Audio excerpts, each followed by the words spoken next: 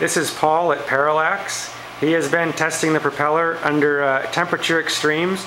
Over here is his setup.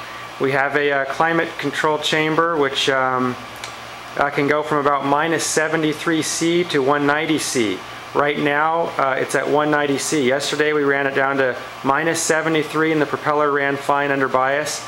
So uh, Today we're giving it uh, its a separate power supply of 3.3 volts because the demo board's uh, regulators were going into thermal shutdown earlier because of ambient temperatures in the oven.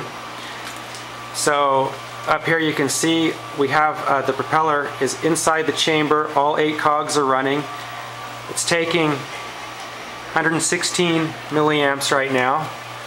Uh, it's generating an NTSC signal and a VGA.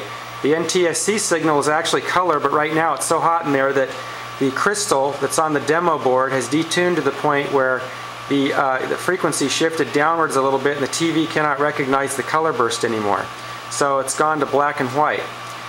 So if we look down here, these are centigrades uh, measurements. So we have the oven set to 190, it's almost there, the red is the actual indicator, and that's about 375? 375. 375 Fahrenheit. So what we're going to do now is open the door. And here's the propeller running with the cables attached to it. You can see the smoke because the uh, PVC cables are kind of melting. You can see how soggy that VGA connector is looking. Uh, we had a failure earlier because the phono for the uh, NTSC just shorted out, so we had to replace that a bit ago. But anyway, the propeller has been running at 80 megahertz with 3.3 volts uh, from minus 73 C to 190 C. No problems. So this is the uh, limitations of our climate chamber for now. So I'll probably use a heat gun to try to determine what the top end is.